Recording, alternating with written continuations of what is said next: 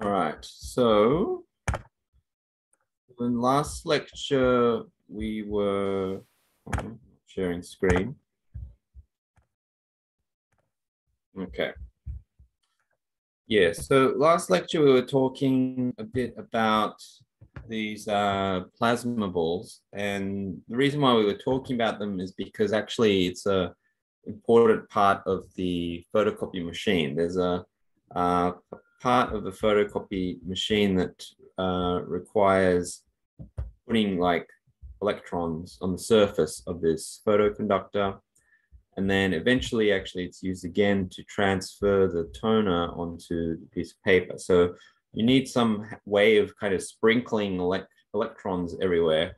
And the best way to do this is by using uh, this so-called corona wire. And basically what it does is, is it kind of generates uh, a plasma and the plasma is basically, you know, ionized air and um, it has uh, electrons uh, inside it. So as part of the plasma, because the plasma is sort of a soup of ions and electrons. So uh, this is basically, you know, uh, one example of how to um, well, a more visual way to see, you know, what's happening in this sort of corona wire. And uh, a plasma ball is something that generates plasma, of course. And uh, basically, in this region around the uh, this central central um, uh, contact in, in, the middle here, uh, we have basically plasma that is uh, formed in the gas. And so we, we saw a couple of different experiments um, where you know these uh, you see these uh, filaments um, uh, basically spread from the middle to to these edges of, of, the glass and and we saw this interesting effect where it can actually light a fluorescent tube. Um, so yeah, so we're talking about how to actually make the plasma. Basically, you need a high voltage. So in air, you need a voltage per centimeter of about 30,000. So that means you got two plates, 30,000 volts, uh, separated by one centimeter. Or another way to think of it, as we saw, was uh, as an electric field. So electric field uh, is basically the, uh, you know, sort of force per unit charge on a particle here, but you can also think of it as like volts per distance. And uh, and so basically what this tells you is that you can either have uh, something which is 30,000 volts and separated by this distance, uh, that would make a spark, or you, you could have a different shape, and actually this would create a stronger electric field. So in this case, you actually might not need 30,000 volts, and that's good because, you know, um, generally these are sort of appliances that you have maybe in the office or the house, and uh, uh, you know, the lower the voltage, the well safer it is, and uh, generally easier thing to make. So uh, in practice, the voltage you don't have to have a thirty thousand volt uh, wire inside the um, photocopy machine. Um, you saw a couple, uh, example of this. Uh, another example of how this plasma can form, and this is in lightning rods. Um, in this case, basically you have this to guide any lightning strike to ground, but actually the, the pointy shape of it actually makes a very uh, strong corona in certain circumstances. So um, actually I should get a more sort of real picture because it's sort of a drawing and maybe you can't believe it as easily as a photograph, but um, you uh, can actually sometimes see this like if there's going to be a lightning strike soon, and from pointy objects, you can have this kind of glow that's uh, happening uh, around pieces of metal. So you might have some like a metal tower, and then at the top you might actually see a corona glow, and um, that's basically the same effect where electricity is actually causing the air around it to ionize and actually uh, make the gas glow, well, the air glow in this case. Um, different colors because uh, different uh, atoms actually just naturally emit different colors. Um, as some of you correctly said, it was uh, basically because of the different energy of the light, different frequency, but that ultimately comes from basically the fact that different atoms have different energy level spacings. Um, and we'll look at this a little bit more later. Uh, we also kind of worked out how, uh, you know, why when you touch the side of the plasma ball, even though the glass is not conducting, um, it will actually conduct some, uh, well, it would, it would, the filaments will get attracted to it. And even though, you know, the glass doesn't conduct, like uh, it seems like, you know, it shouldn't make any difference. In an AC circuit, um, actually, uh, you don't really need actually something in the middle to conduct. You can have capacitor um, where there's no no contact here, right? So um, we we all built this circuit together, um, and I think what well, I think if you built the circuit correctly, what you saw is that the electrons still actually oscillate, so they go back and forth like this, and that's despite the fact that this thing has uh, there's no this thing doesn't conduct electricity at all. This is like a capacitor. It's completely open, right? It doesn't conduct electricity, but still you still have the current. And because you still have the current, uh, basically when you form, when you touch the side of this, this will actually feel the effects and then actually uh, the, the corona filament will actually still be uh, attracted to your finger. Okay. um, yeah, okay, so that's just some graphs. Okay, so I think this is basically where we got up to, and then I think we were going through some uh, sort of puzzles like this where we saw um, if we touch the side of the uh, plasma ball, then we saw the filaments sort of uh, jump up and down like that. It's, it would sort of go up, break, form again, go up, break repeat that cycle. And we worked out that this was because of the heat that is generated in that filament. Okay, so that's basically what we got up to, just a bit of revision. Um, now, again, you know, normally we'd be doing a demo in class, but uh, it's just not possible. So, um, you know, the next demo that I would do at this point would be to use uh, you know, show this uh, fluorescent light actually lighting. So, well, we can't do that. So let's just have another quick look at a, a video here. So um, uh, I already showed you this, but just as a kind of refresher. Wow, this thing is powerful. Look at this. Oops, sorry. Now let's do it in the dark. This is insane. Wow. Boom. That's so cool. Look how big it is if I bring it closer, it's super much brighter. What if Sorry, I I, I think the I think the video is Sorry, am I not Yeah. sharing the right screen? Okay, yeah. Okay, okay, sorry about that. Yeah, yeah, yeah. Always forget. Okay, let's do that again. Okay, except the button? Let's grab it all the way at the end. Let's see what happens. All the way at the end. Wow, this thing is powerful. Look at this. Now let's do it in the dark. This is insane. Wow. Oh, that's so cool. Look how big it is. If I bring it closer, it's super much brighter. What if I touch it? Oh, super bright. All right, guys, what do you think? Mm. Be careful if you yeah. So, so basically, you know, this uh, fluorescent tube, just the regular fluorescent tube you might have in a room or office, um, it's not connected to any electricity. Uh, obviously, this plasma ball is connected to electricity. That's why it's uh, doing all these things. Um, so uh, you know, it seems magical, right? Like you can actually uh, actually light up a, a, light without even connecting it to electricity, right? So let's try and figure out, you know, why or exactly how this is happening. Um, what do you guys think? What what what what do you think is uh, making this thing glow?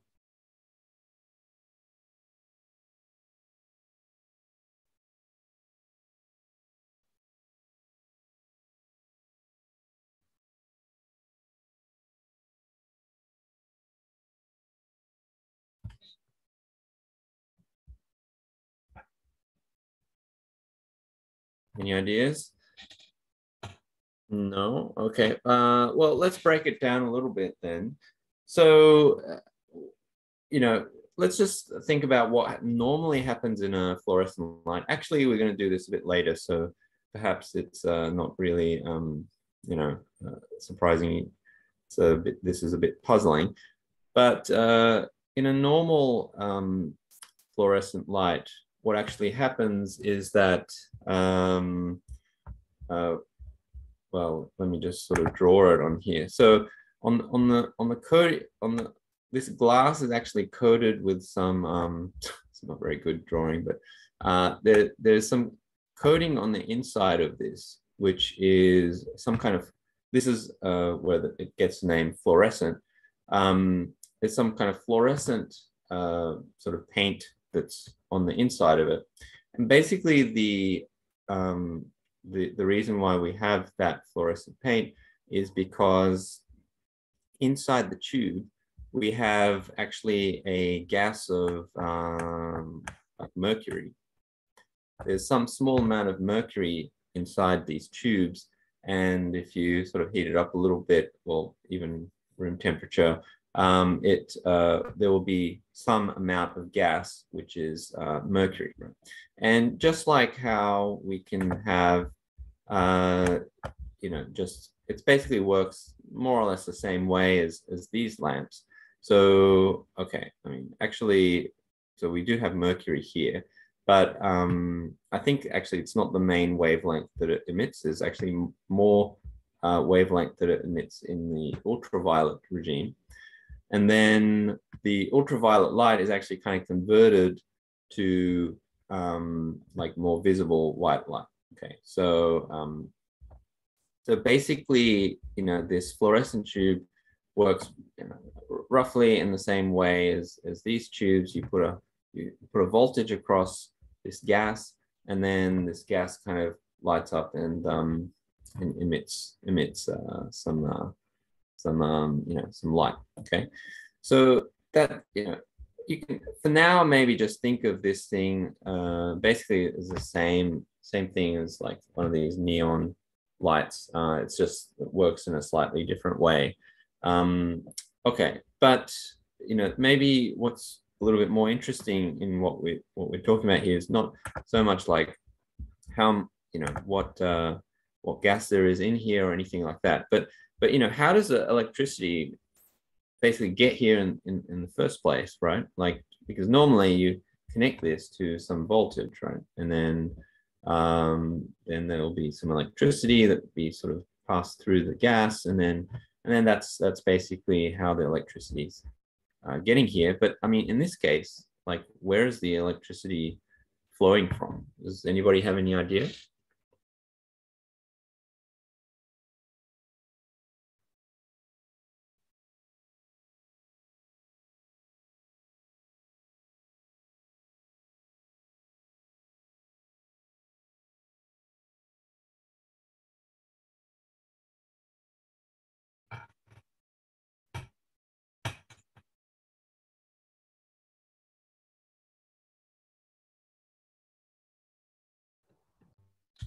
No idea. Oh, somebody say something?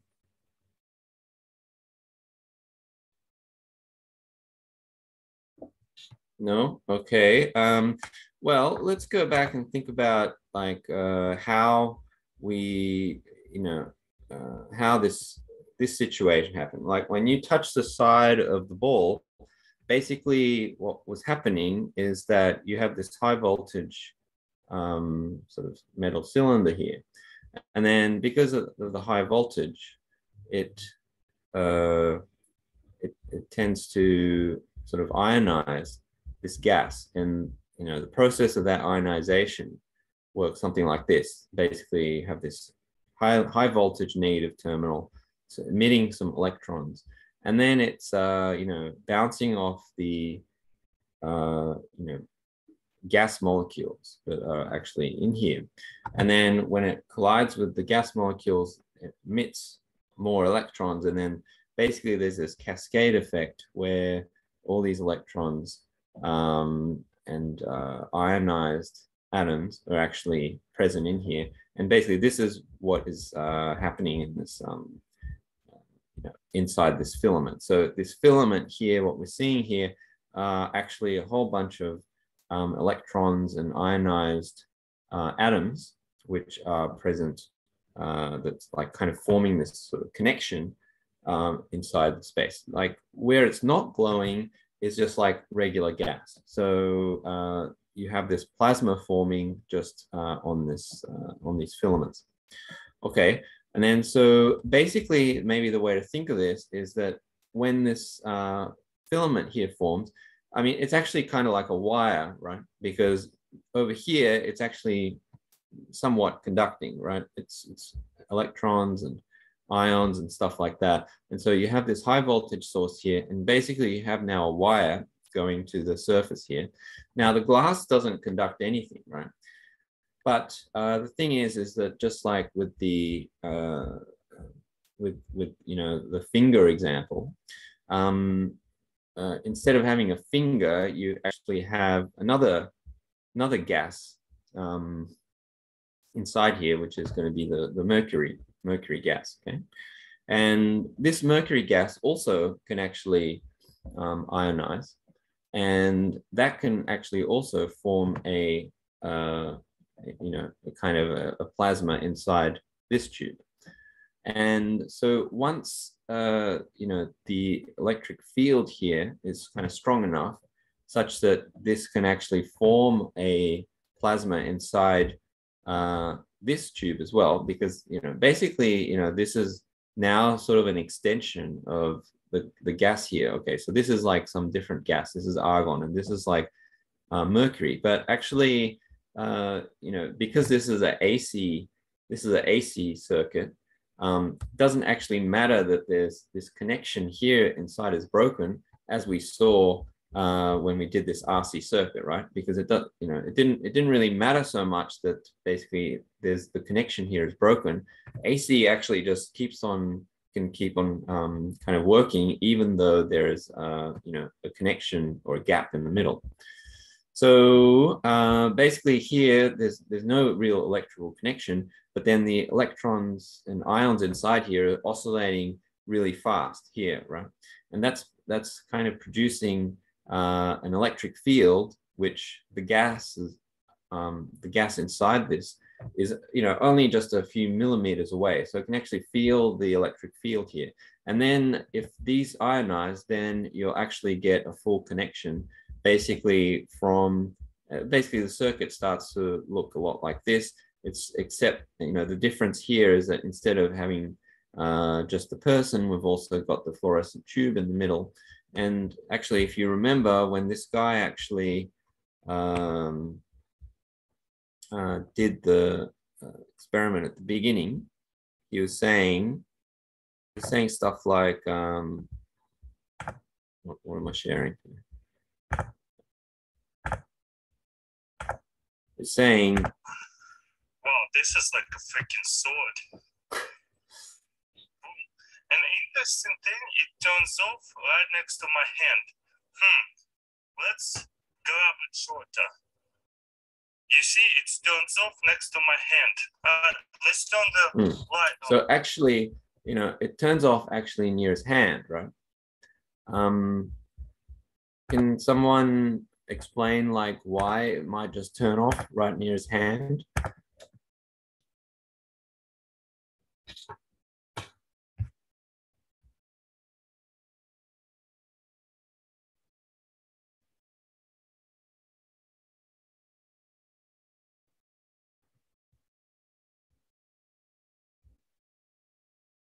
You mean when the light is far away from the plasma, ball? Mm-hmm. Um, I think it's because the electrical field gets weaker when it's far away, and the um, the molecules in the tube. I don't know how to call that. Is that light or light light tube? Oh, mm, the fluorescent light. Yeah. yeah. Right. Right. Um, the air molecules in it doesn't um, ionize Right. So, yes. Mm-hmm. Yep. Keep so going. So the light would not like. I guess it's just because of there's no electricity Mm. Yes, yes. So exactly, yes. So um, basically, when you if the tube is a bit further away, then um, you know basically what the uh, fluorescent tube over here is actually feeling. It's it's actually really feeling the you know uh, oscillating electric field that's actually in here, right? So this this filament here is actually a plasma, and then these things are all oscillating kind of back and forth like really fast. Now, you know, the the electric field, you know, around here, um, it can feel, uh, you know, the, the atoms inside the tube can feel it. But of course, if it's further away, then, you know, it feels it feels it less. So yeah, so that's right. Absolutely correct, Bale. So well done. Um, and uh, but actually, so what I was uh, uh, also asking is, so remember, so this guy is saying that um, when you when you have uh, when you hold the fluorescent tube uh, shorter, right? So let me sorry, uh, let me share the right screen again. Yeah, so when you hold the when you hold the tube a bit shorter, where is it? Uh, sorry, to close this. Yeah, so see, notice here, he's holding it here, right? And then basically over here, like um, like further away from the tube, uh, it's no longer glowing, right? So it only glows up to the point where he's holding holding the tube. So if he, if he holds it a bit shorter, like here, uh, then it only glows up until that point. So can somebody try to explain that one?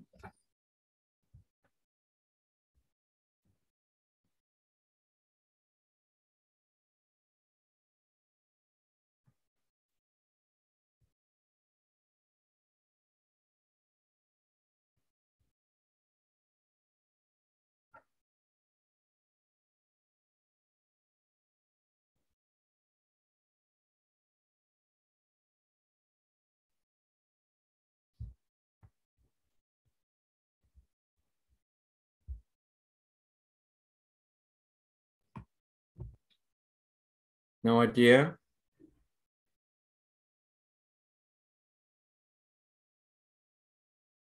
Is it because the electricity flows over through the hand? Hmm. Yes, yes, I, I believe that's right. That's so that's uh, uh, that's the explanation I would give. So yes, I think that's that's correct. And so uh, when you uh, let me just go back to my slides here. Yeah. So basically, you know, what's happening here is that um, it's basically the same circuit as we've got here. It's just that when uh, you've got the fluorescent tube, you've got that also in the middle. So basically, you've got the high voltage thing in the in the, in the center here. Uh, you got the plasma forming these filaments. It's the glass globe. Then you put the like the fluorescent tube, and when you put the fluorescent tube there, um, then you know imagine you've got the tube here like like so. Let, us just shorten his hand. So okay so let's say his hand is now like this okay? So basically through the tube there will be a similar sort of plasma okay? So the inside here the gas will now ionize and that will also form a kind of a connection and be forming a wire and then the rest of the circuit is completed by him holding uh, the tube. And again, you know, the, the tube is made of glass, but um, in AC, it doesn't, it doesn't matter so much actually, that the tube is connected by glass. So it will, uh, you know, the AC current will actually flow through him actually, and then go, go to ground. And uh, that basically completes the, the full circuit. So, um, so yeah, so that's basically, you know, uh, what's happening when you put the fluorescent light uh, near the tube. I hope that sort of answers most of it. Um, more details of, you know, like what's actually in the tube and stuff like that, we will talk a little bit more about that uh, a bit later, but um, just think of it more or less the same as neon light. Okay, so that's that one. Now, another one. I couldn't really find a video of this one, but if you actually put a uh, coin on near the sides of this, then uh, it will actually attract the coin, like not really strong, but um, it'll actually be slightly attracted to the side of it. This is supposed to be a piece of string. And um, uh, does anybody have an idea of uh, why it might get attracted?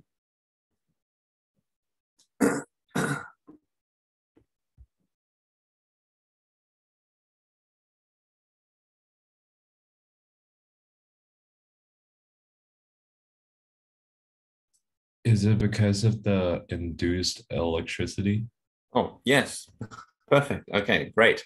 Yes. So, um, yeah, exactly. So even though there's no actual electrical connection here, um, you know, there is an electric field which is going through the glass. And just like with the induced charges that we were talking about earlier uh, in the slide set, basically this will also induce some, you know, uh, charges that are actually inside this piece of metal because a metal conducts electricity very well. And basically that will uh, form a kind of a charge distribution such as to kind of uh, attract to the, um, to the, to the, to the filament that's actually inside here. Yeah, okay. All right, so uh, that's, uh, I think pretty much it for the plasma ball. So let's go back to the photocopy machine um, example. And so uh, just, I just want to show you actually what this corona wire thing actually looks like because um, you know, just looks a little bit abstract in these diagrams. So let me, let me just show you a video that I found of, the actual corona wire itself. The corona wire is to place the initial charge on the defects related to a dirty or defective corona wire, the white or black vertical streaks always in the same position, or completely black or white pages. Sometimes cleaning the corona wire does not solve the problem. To change the corona wire, start removing the corona assembly from the drum unit. The corona assembly contains the corona wire.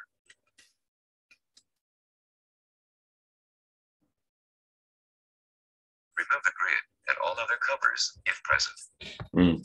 There are Yeah. various types of corona assembly. So let's just quickly just to show you what it really looks like. So, you know, basically it's just it's just a piece of wire and um, uh, it's uh, you know it's just stretched across and it's you know about the side width of a of a piece of you know A4 paper because uh, A4 paper would be going through the photocopy machine. Um, okay, so think that's all I really wanted to say for that one. Um, oh yeah, I think yeah, and that this uh oh, am I sharing the right screen?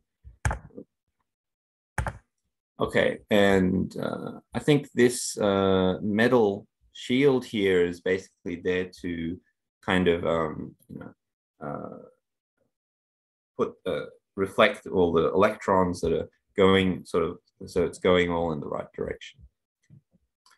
Okay. Um, yes, and so uh,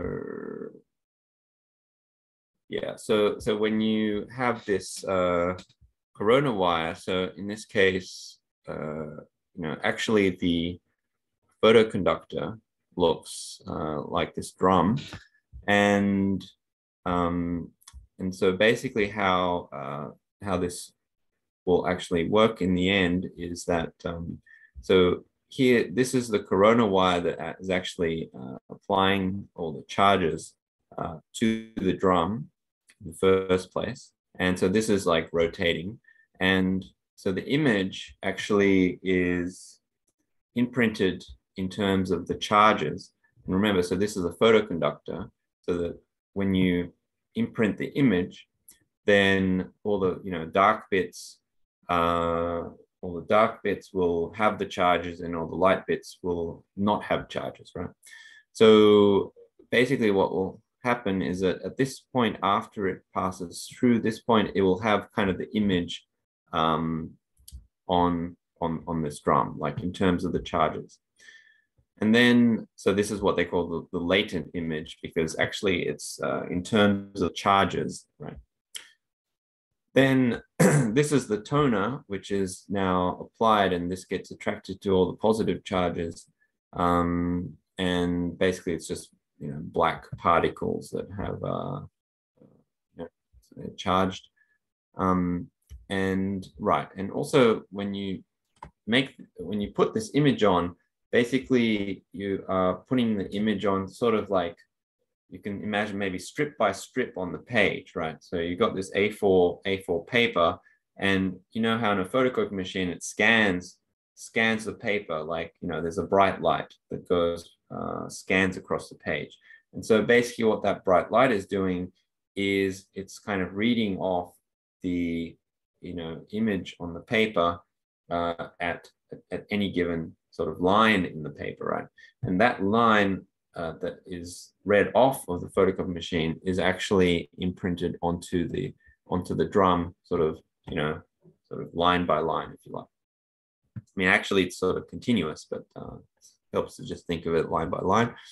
Okay, and then here you got the toner, and then here comes the paper. The paper just sort of rolls through.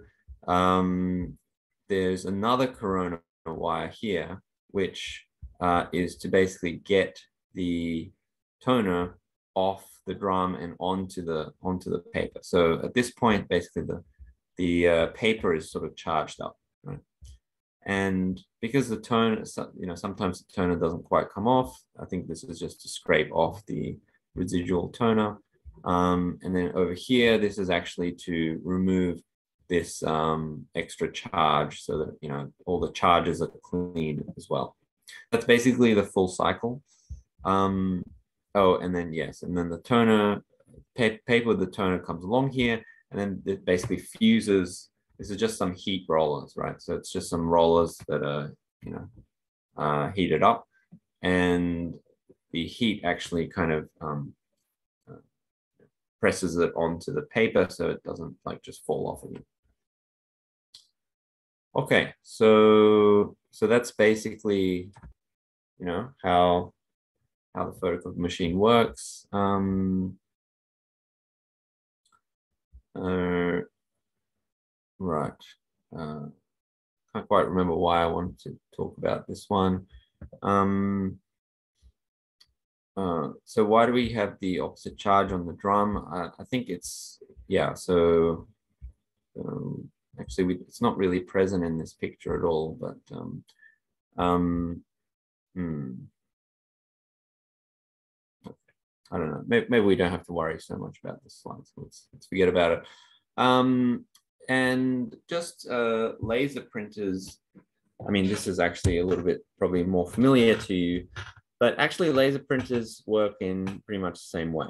So um, the only difference between laser printers and photocopy machines uh, is, uh, you know, the way that they print is pretty much the same, but um, instead of actually, uh, so in the, you know, old fashioned photocopy machines, like this light, which is uh, kind of reading off the, the page that you're trying to photocopy, right?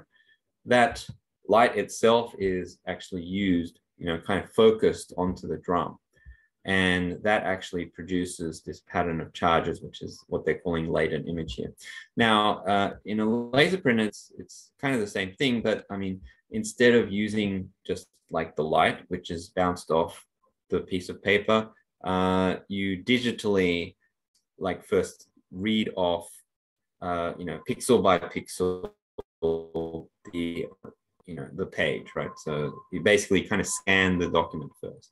Then once you got the scan of the document then you can just shine a laser such as to create the same image by shining a laser and then um, you know turning on and off the laser very fast so that it kind of just uh, prints out uh, in light um, this. And so this this drum here is basically the same thing as this uh, photoconductor drum that you have here and uh, the only difference here is how you actually, uh, you know, uh, uh, get the light with the image information on it um, onto the drum. And otherwise, it basically works in the same way. So, so laser printers, photocopy machines are um, more or less, you know, very, very similar. Actually, it's just uh, a question of how how the um, uh, you know where the image is actually coming from. So we can just have a quick look at video, which will show you sort of uh, show you how this is actually produced. On.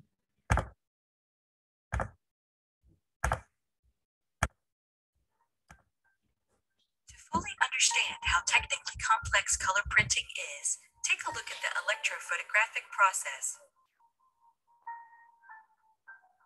The primary charge roller, or PCR, rotates next to the OPC drum and applies a negative charge to the surface of the OPC drum, which prepares it for the imaging process. The OPC drum is then exposed to a laser, which forms the image. This area is more positively charged than the areas not exposed to the laser.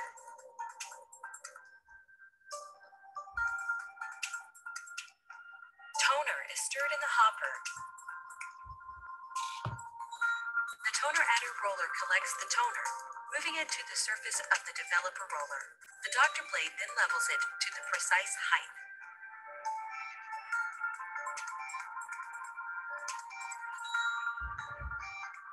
As toner moves from component to component, it develops a negative charge, which is attracted to the more positively charged image on the OPC drum. OPC must be something like photoconductor. So I don't know The what it on the stands for, but, yeah. then transferred to the paper. This process occurs within the four color cartridges in every laser printer. The paper with the toner then passes through the fusing assembly, where it is melted and fused to the paper. Any toner remaining on the OPC drum is cleaned and moved to the waste bin by the wiper blade. The latent image on the OPC drum surface is erased by the PCR. Excess toner not transferred to the OPC drum is scrubbed from the developer roller surface by the toner adder roller and returned to the toner hopper.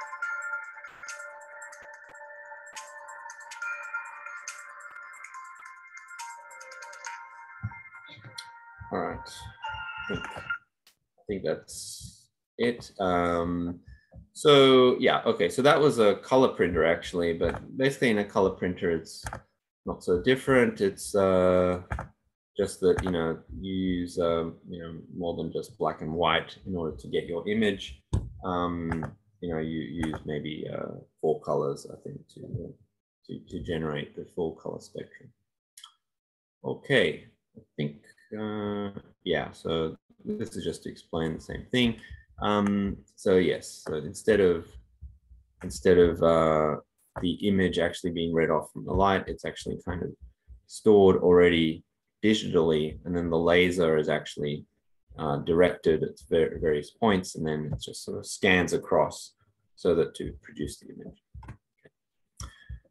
Okay. Um, any questions about this? I think this is the last slide of uh, this this set, but I hope uh, you actually now appreciate a little bit of how um, this kind of technology works. Um, you know, in a photocopy machines, you know, it's actually all kinds of uh, different technologies that are sort of coming together. You need to understand sort of static electricity, um, and in order to uh, you know, generate like the static electricity, you need to actually um, you know understand a few things like you know plasmas and um, you know all these kinds of things. So um, so I hope you appreciate all that. Um, any any questions that anybody has?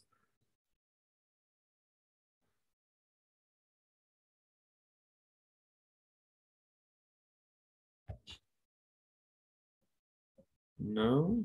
Okay. Well, let's just go back and let's see if we can uh, actually understand some of these questions that I had um, right at the beginning. So All right. Uh, well, this one's a little bit, first one is a little bit too generic, but um, uh, maybe we can um, slightly shorten the question. So, um, oh, sorry, there's something in the chat.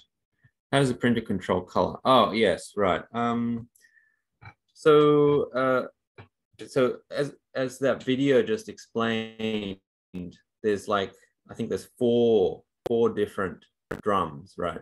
And basically by uh, you know uh, repeating the process, um, so you know I uh, maybe it's like cyan, magenta, uh, yellow, and um, I get the fourth one. But anyway, so I think there's like four colors you can combine and, and, and basically make any uh, color image that you want, right?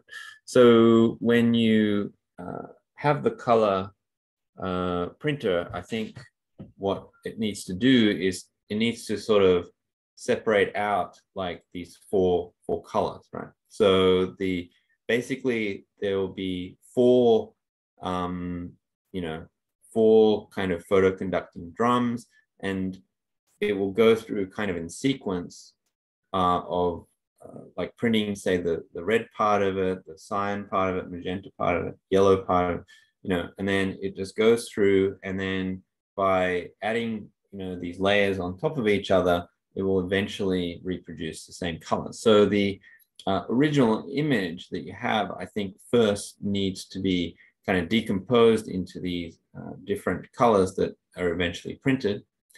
And basically when, when it prints it, sort of does it, you know, on top of each other. So there's like, you know, different colors and by basically combining it, uh, you know, you, you'll get the um, different colors. So yeah. Oh, and okay, so maybe your question was how does it control it? Well, I guess there's a, um, you know, the degree of the of the charges. So, you know, uh, I guess the way that I explained it is that, you know, it's either black or white, right? So in that case, it seems like it's um, you know, zero, 100%. But I mean, obviously you can probably also uh, change the degree of the amount of charge, right, on, on, on the drum by applying light of different intensities. So the, the brighter light that you apply, you know, completely depletes the charge on the on the photoconductor, right? So, uh, but then if your you know color is only 50, sorry, if your light is only 50%, then it might not um, deplete all the charge. It will deplete only you know some part of the charge, and then you'll get correspondingly a different degree of the toner on here because it will attract less toner. If it's only 50% charge on it, then it'll only uh, have 50% toner. And um, so I, I, think that that's basically how it's controlling the color. And um, okay, so thanks for the question. Um, so let's try and just go through to make sure we actually can answer all these questions because that's basically what we were starting out with. Um, so maybe can somebody explain, um, you know, what is the, uh, you know, what is the main component of the photocopier um, and and how does it actually work? Does somebody want to give it, give that a try?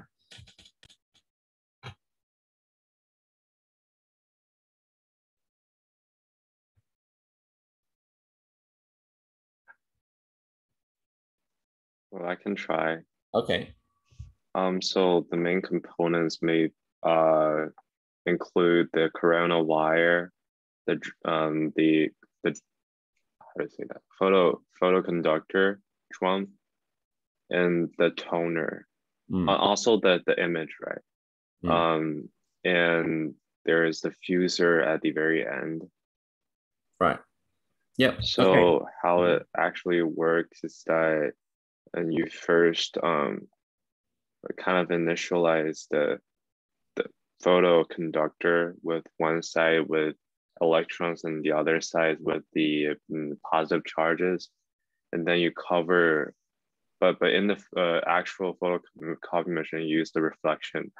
Um, kind of you neutralize the part that uh, in the image are um, empty or just white and then the other side that in the uh, image is like um, colorful or has something on it you um, like maintain those electrons on this place and then you apply the toners on it so that um, with the toners you can uh, the toner will be placed on the spots on the paper. Uh, i didn't say it clearly but uh, just the toner will stay the place where the image is covered the those positions that image lies on and then you uh, right at the very end you you heat it and uh, uh, you put the paper on it and then the toner will be um, applied to the paper and then you heat it so that it it's fused onto the paper. Great. Yes, brilliant. Thanks, thanks, Vale. Uh, it's a perfect explanation. Yep. All right. So exactly, and so yes, the main component, possibly yes, this is the most important component, the photoconductor, right? Because this is the thing that allows you to control the where the um, uh, electrons are, and then and then uh, yeah, that allows you to uh, put the toner in the in the right positions. Great. Okay. So um, so does anybody want to give this a try for this question? So so what is the bright band of light actually um, actually doing? Why do we have that bright band of light in the photocopy machine?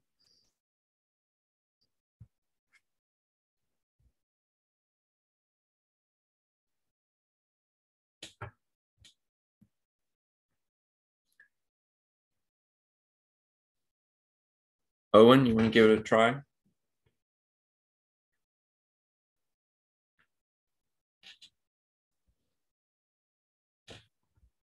Not there.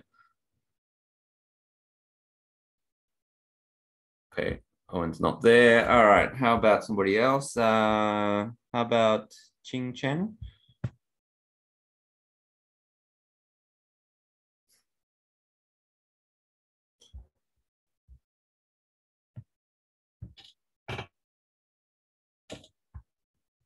Hmm. Either very shy or also not there. Shame. Ella? Uh, I'm here.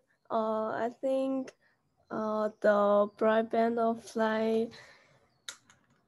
Uh, I think this is just just for scanning and uh, to uh to to is it is that for charging? Yes. Uh, it is for uh, charging and uh, to uh, help the toner to get the uh, positive charges onto the um, the the photoconductor. Hmm. Yes. Um, yes. Well, eventually, yes. Yeah. Okay. So thanks, Ella. Um, yeah. So basically, you know, the light is indeed it's scanning the, the piece of paper, and you know, uh, if if it's dark on the piece of paper, the light doesn't reflect as much, right?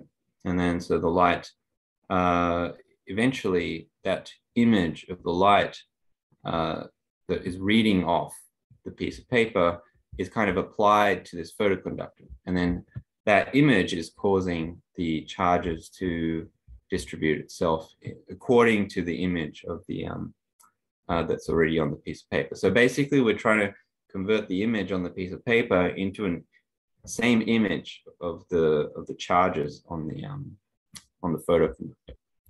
Okay, that's good. Um, and well, last question is very similar in the end. So the laser, instead of uh, scanning it, it's actually uh, just directly applying the light to the photoconductive drum. And then, um, and basically toner is just some black stuff that uh, eventually you confuse to a piece of paper, but it's uh, kind of charged so that it's attracted to the photoconductor.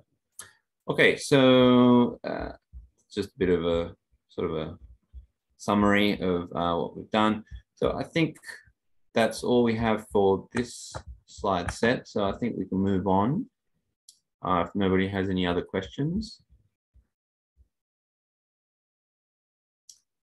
If not, so uh, let's, whoops.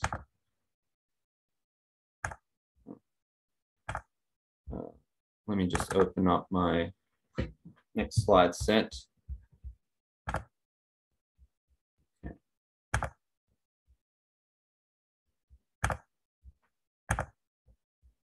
Okay. All right, so uh, next topic is electromagnetic waves.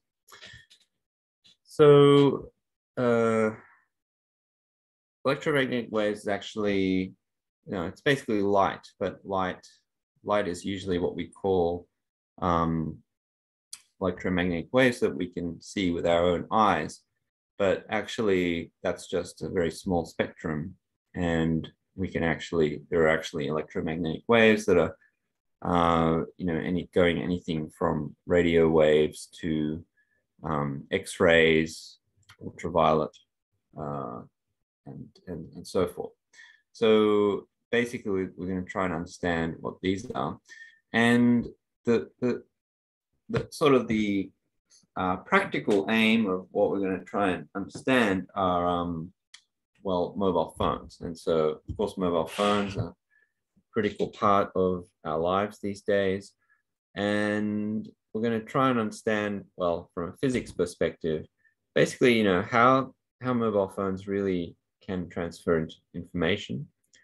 And, um, you know, if you think about it, you know, we went from uh, mobile phones, which was something just to, you know, make phone calls with. I mean, these days, actually, almost nobody makes phone calls with phones, which is uh, ironic in a way.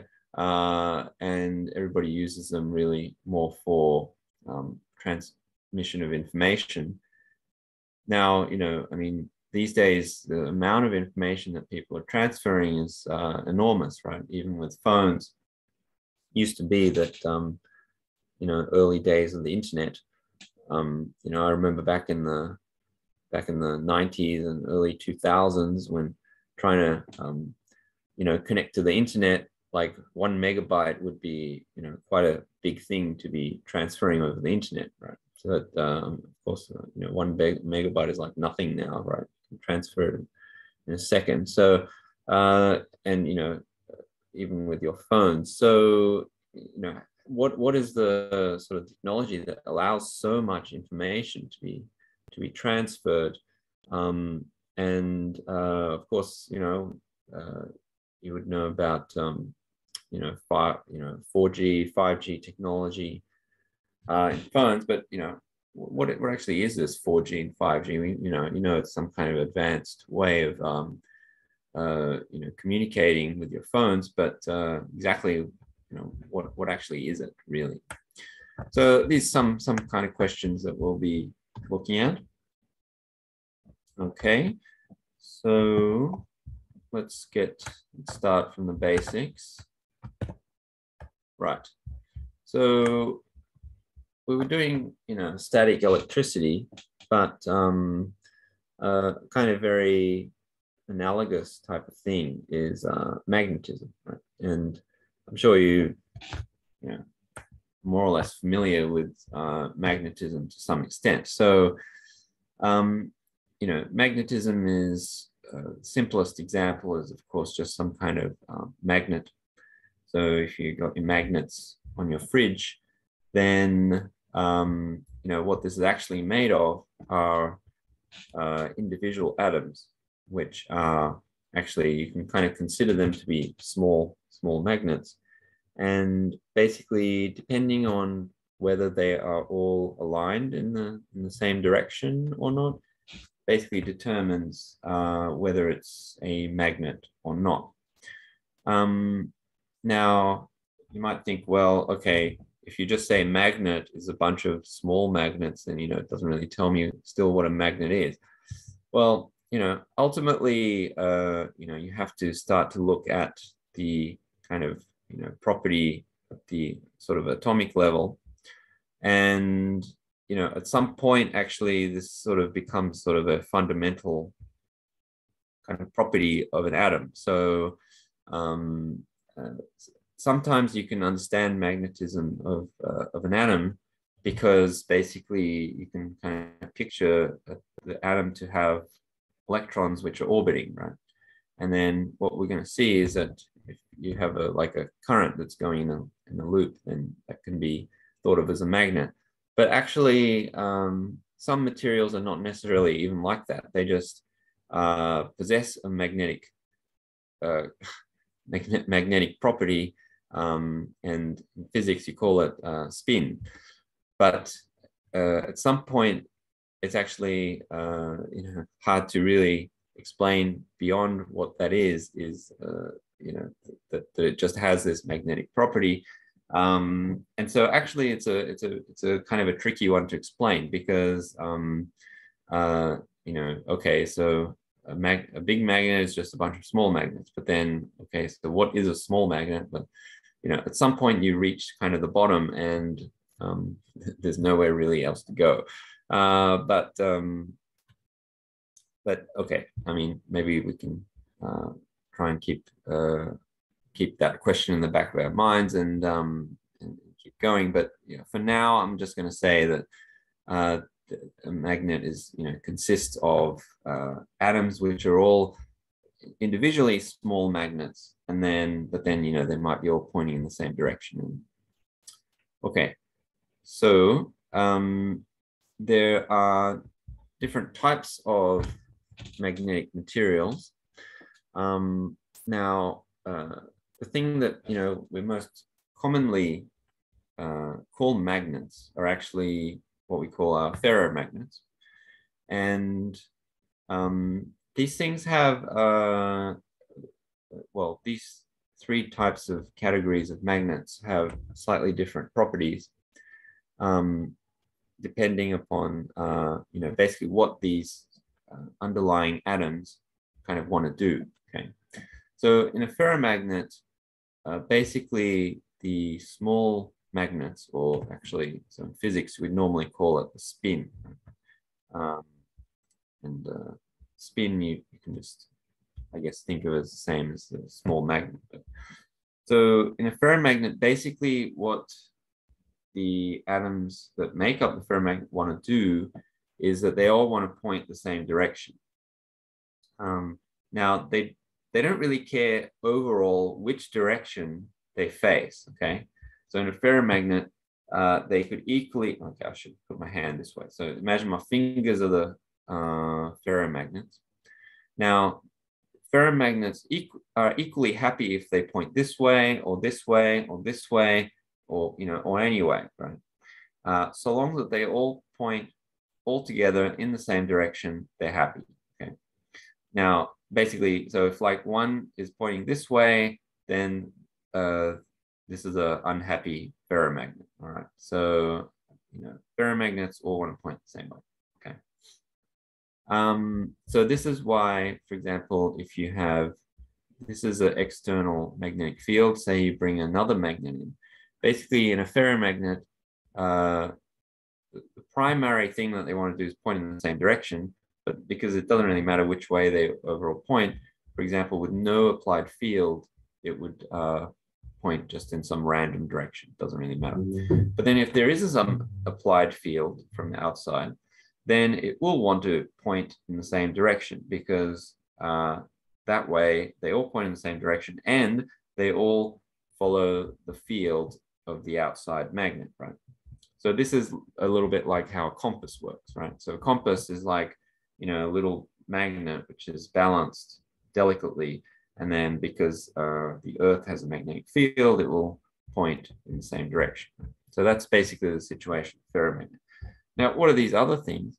Well, a paramagnet is basically, it doesn't have this property where they uh, all want to point in the same direction.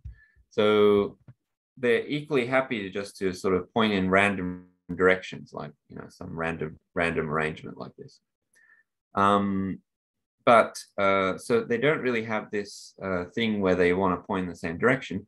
But if there's a- an external field applied, then they want to point in that direction that uh, you know of the external external magnet. So basically, without the without the external field, it will just point in random directions. But then with the external field, all of a sudden they'll all point in the, in the same direction.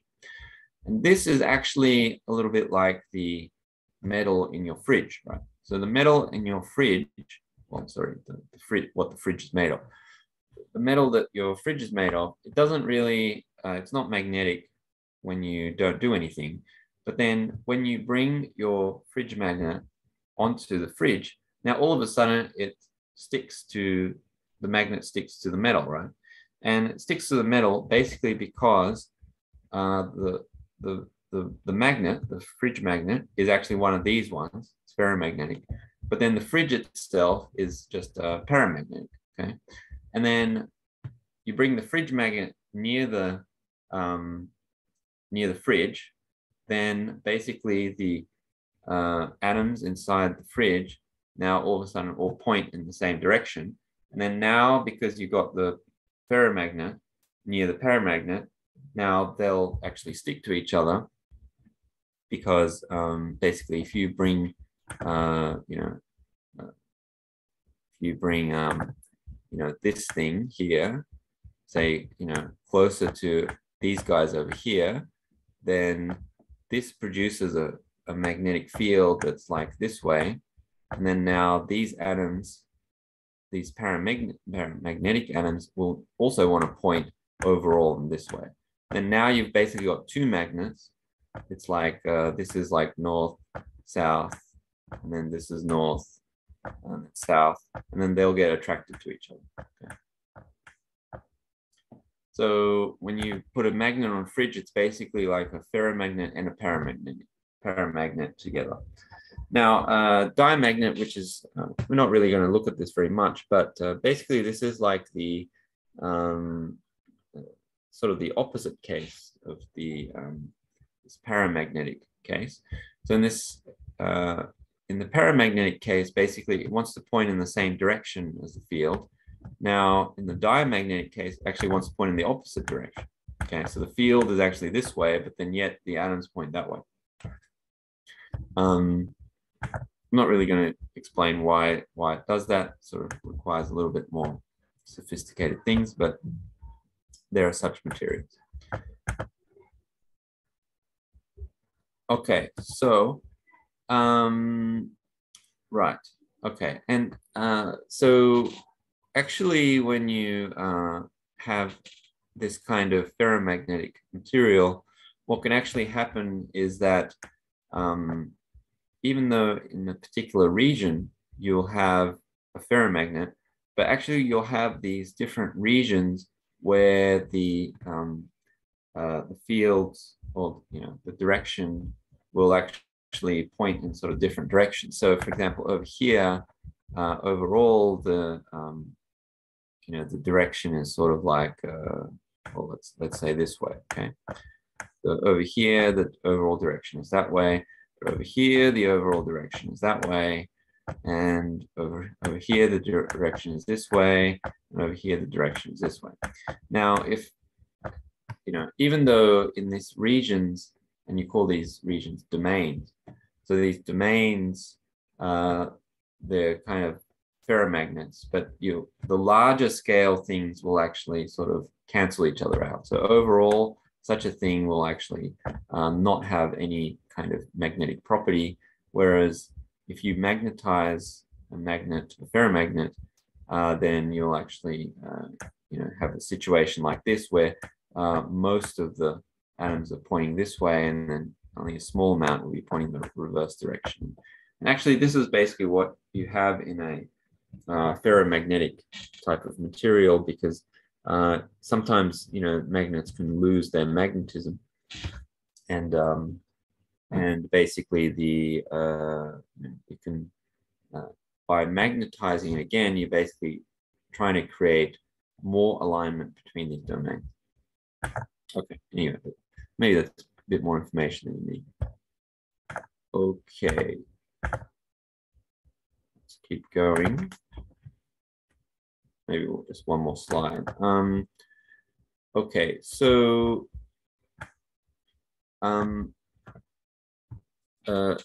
electric uh, currents can also produce uh, magnetism. So what I was trying to explain before with uh, how magnet forms, well, you know, I got to the sort of the point, sort of a chicken and egg problem where you sort of say, okay, where does the magnetism come from? Well, okay, you say, okay, it comes from smaller magnets, but then ultimately you have to sort of say, okay, where is the, where does the actual, you know, uh, why doesn't an atom, one atom have magnetism? Um, ultimately, uh, you have to put it down to the property of the atom. So that's the case for these types of, uh, you know, magnetic materials. But actually, you can also create a magnet even without such, um, uh, you know, like such a, a, permanent sort of magnetic material. You can also create it just with a current. So if you if you have a current in a loop like this, then this will actually also create a magnetic field. And in fact, it looks just like um, how um, how a, a, regular magnet looks like.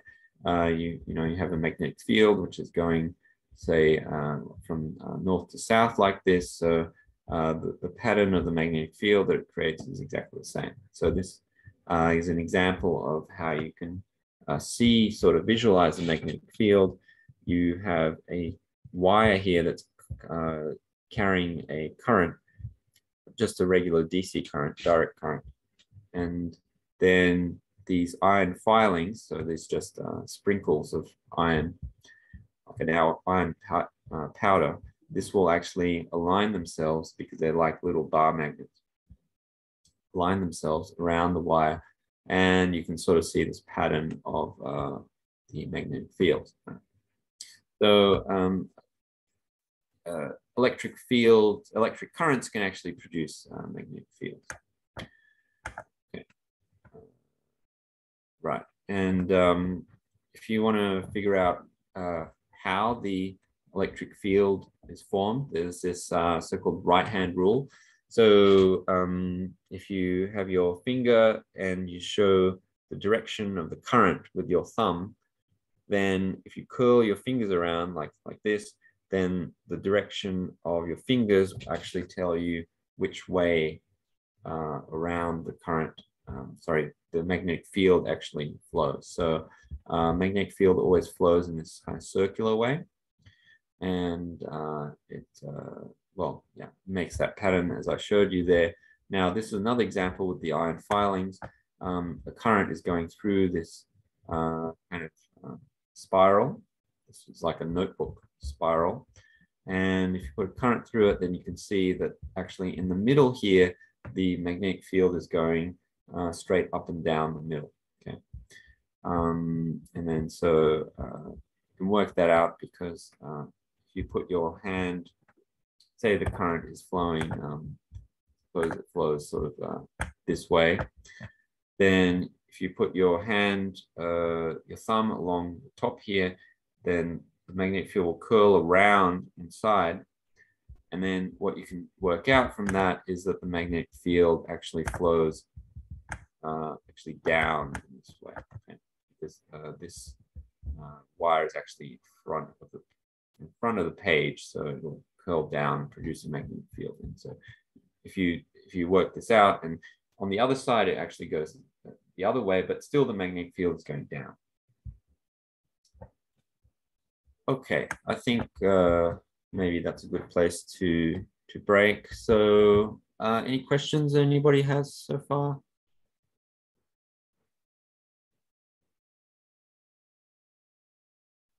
No, okay. All right. Then yeah, so homework for this week, just uh, again, uh, just summarize whatever we did in the lectures, um, hand it in. And oh yeah, uh, I haven't done the Brightspace thing yet, so I'll do that um, today. So uh, that will be there so you can properly hand it in. But otherwise, um, I will see you next week. Bye, everybody. Um, so Professor, I think uh, for last week's homework, you didn't open the tab for us. To, yes, yes, and then, yes, right. Yeah, sorry about that. Yeah, I forgot about that. So I'll doesn't matter. yeah. Mm -hmm. Okay, thank you. Okay, all right, thanks. See you. See you.